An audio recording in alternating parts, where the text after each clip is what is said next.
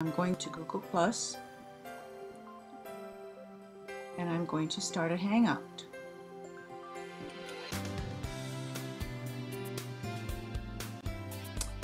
And I definitely do not want it to be a Hangout on air. This is going to be a private Hangout. So I'm going to type in the person's name that I want to invite and I'm going to name this Test with Michelle. You can mute the microphone, same with the camera. You can adjust the bandwidth usage, which is kind of interesting, especially if you have a lot of people on.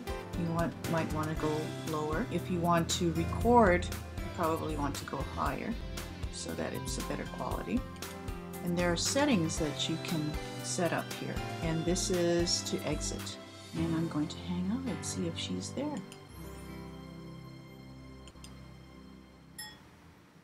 And we are waiting for her. We can invite people, we can chat with people. In fact, uh, let's see if we can move this over so that we can see her. Hi there, I'm actually recording right now, um, telling the people what's on here. Like the chat is available, I just enabled that.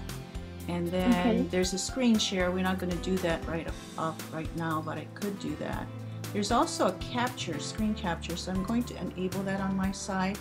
So what has happened is there's like a little camera at the bottom, and then we have our Hangout toolbox. I can share what's on my Google Drive with her, and we can work on it together live, so she can edit on her side.